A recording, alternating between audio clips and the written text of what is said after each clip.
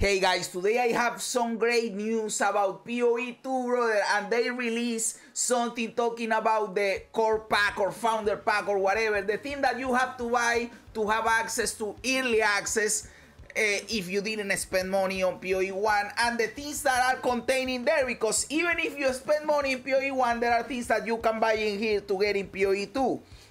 And I am really happy about this. These are great, great news for me because check this out. They announced how much it is going to cost, brother. Well, I don't have the, the exact thing in here because it is down here, but they announced that it is it is going to cost uh, uh, well, uh, starting at thirty dollars. There will be other uh, tiers, of course, but it will start at thirty dollars, brother. And that is also for me because I am a broke bitch, and I was worried. How much is this bullshit going to cost, my dude? and it is going to start at $30 to get access to the early access and that is awesome for me my dude that is awesome for me. I really needed that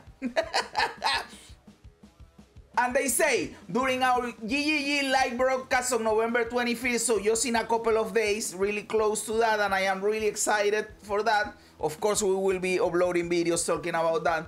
We will release Path of Exile 2 early access supporter packs.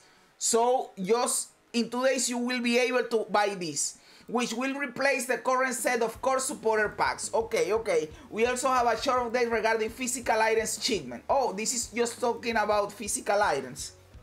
Core supporter packs and soon.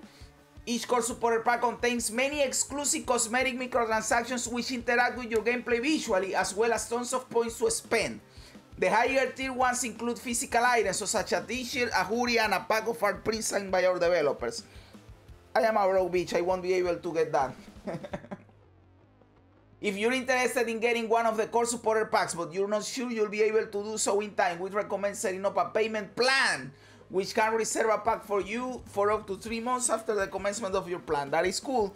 They are thinking about broke people, brother. That is awesome. That is awesome, my dude. Now, my question here, and what is important to me is, will these points, will you be able to buy stash tabs with these points. Because again, I don't have tabs. I never played a lot of PoE1. I never spent money in there.